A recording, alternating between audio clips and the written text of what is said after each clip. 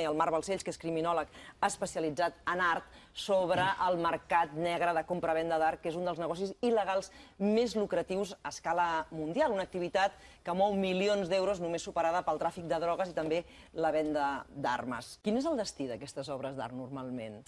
A veure, ja que parlàvem de mercat negre, Sí. eh, es pot fer comparació amb aquest mercat negre d'obres d'art i es pot fer comparació amb altres mercats negres. De fet, eh, sempre es llegeix que la Interpol ho classifica com el tercer negoci il·lícit més lucratiu després de drogues i armes. Sí. Però sí que és veritat que aquest mercat negre particularment té una zona gris, que és una mica el que parlàvem ara. És a dir, hi ha obres d'art que entren en un mercat negre i desapareixen perquè acaben a casa d'un particular i ja mai més se sap, i després sí que és la- eh, una mica el, el teu exemple seria el d'aquest mercat gris, no? És a dir, una obra d'art que ha estat robada, per exemple, d'un jaciment arqueològic per una banda de lladres organitzats, per exemple, eh, que és el tema que jo investigo a Itàlia, Sí. i que acaba en una casa de subhastes o que acaba adquirida per un, per un museu, per exemple.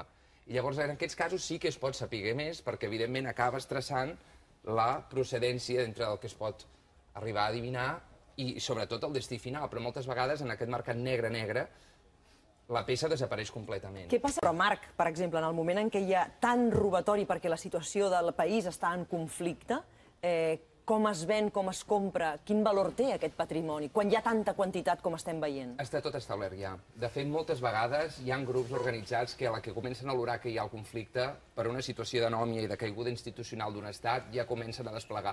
De fet, hi ha les peces més importants del Museu Nacional Sí. de Bagdad, quan va haver-hi la guerra d'Iraq, aquestes no s'han retrobat mai i hi ha sospita que, evidentment, hi era gent que ja estava esperant en els dies anteriors la caiguda i la- el començament de la batalla per començar a prendre peces. Gràcies, Marc, gràcies per acompanyar-nos, per parlar-nos de la compra-venda d'obres d'art falses i també del seu destí, cosa que sembla que ha anat a més i que Catalunya, justament, eh, eh, pel fet de que hi ha hagut artistes importants, també hi ha un mercat important de tot això.